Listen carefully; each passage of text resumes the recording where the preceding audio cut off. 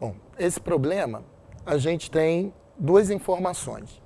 Uma piscina a, é, cujas paredes são retangulares. Ele te dá o, um, todas revestidas de azulejos quadrados. Então a gente vai tomar como unidade diária cada azulejo.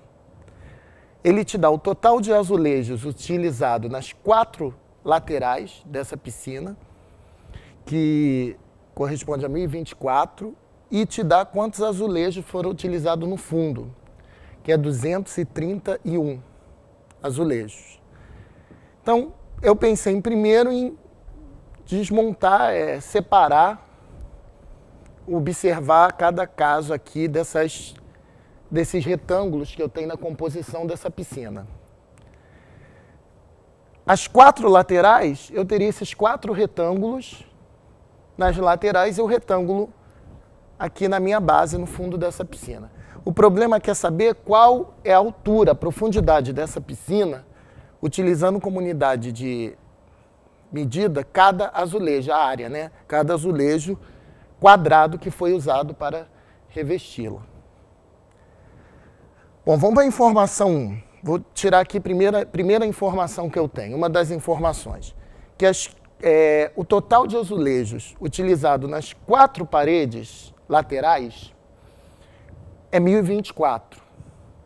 Então eu sei, eu, observando, eu sabendo que isso aqui é um retângulo, eu sei que o total utilizado nessa região 1 é igual ao total utilizado na região 2 o total utilizado nessa região 3 é igual ao total de azulejos utilizado nessa região 4. Então aqui, daqui, eu tenho que essa área lateral seria o quê? A área dessa, desse retângulo 1 AH. Como o retângulo 1 é igual ao retângulo 3, ao retângulo 2, eu posso dizer que seria 2AH, certo? Mais a área do retângulo 3 e do retângulo 4, que são iguais. A área do 3, BH. 4 também, então posso escrever 2BH igual a 1024. Certo? Dividindo aqui por 2, eu ainda posso escrever que AH mais BH igual a 512.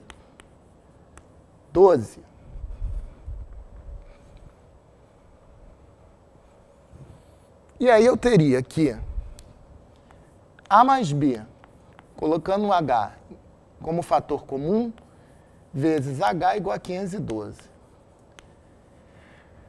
que, que eu tenho dessa, dessa relação? 512 é o produto de dois fatores, onde um deles é A mais B, seria a soma do comprimento e da largura, e o outro seria essa altura, que seria a profundidade. Se o produto é 512, eu garanto que A mais B e H são divisores de 512.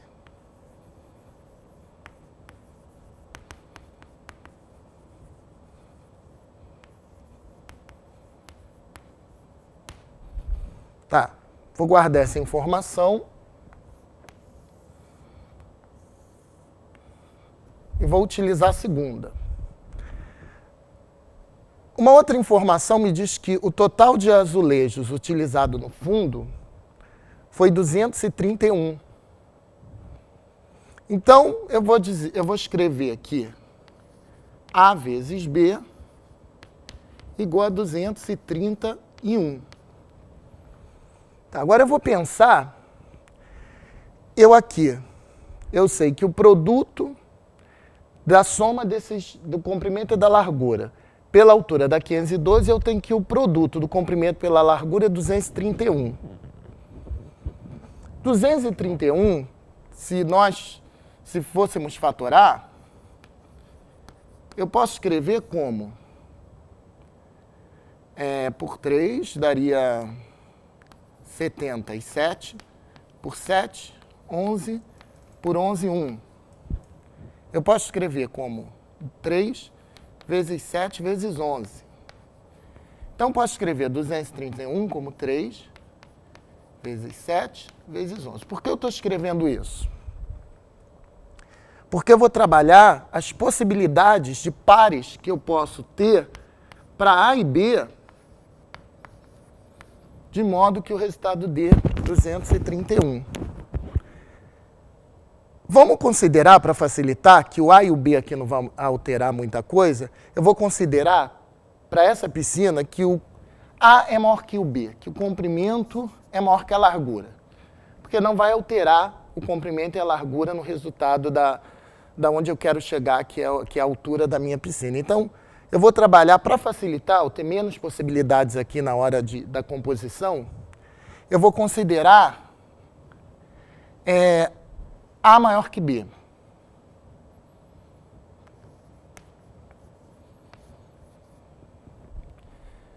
Então vamos lá. Quais são os pares que eu posso formar para A e B aqui? Eu posso formar 21 e 11. Eu, ou 11 e 21, mas como eu considerei A maior que B, basta essa opção. Eu posso ter 3,77, 77, 3 é uma outra possibilidade, cujo produto dá 231. Eu posso ter 33 e 7, 3 vezes 11 e 7. Estou fazendo todas as possibilidades de agrupar 2 a 2, agrupando 2 e sobrando 1, cujo produto dê 231. E eu posso ter 231 e 1. Tá, mas por que eu fiz isso? Porque eu tenho essa, essa informação aqui. Que A mais B é um divisor de 512. Então, se eu tenho essas possibilidades para A e B, o que, que eu vou fazer? Eu vou encontrar qual, quanto daria essas somas aqui. 21 mais 11, 32. 77 mais 3, 80. 33 mais 7, 40. E 231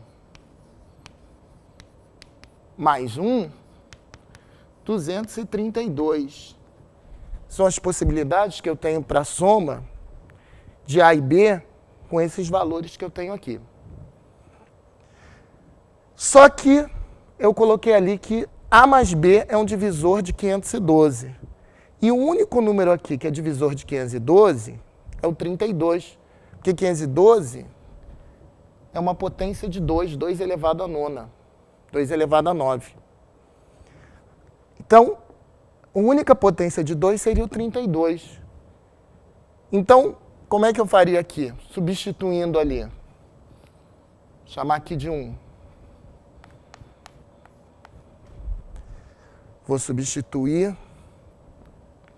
Deixa eu guardar isso aqui.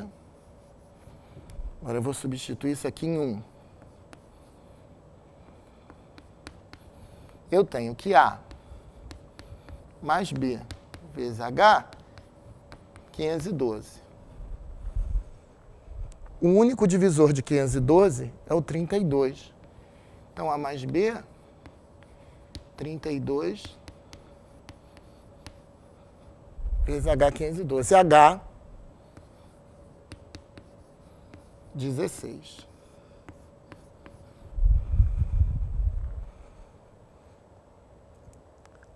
No caso, opção B.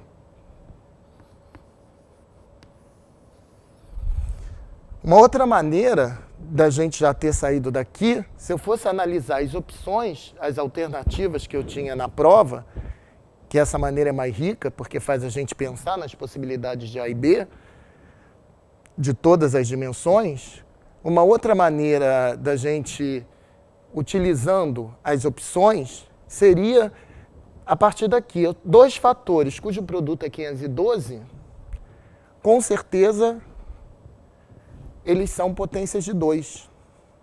Que 512, 2 elevado a nona.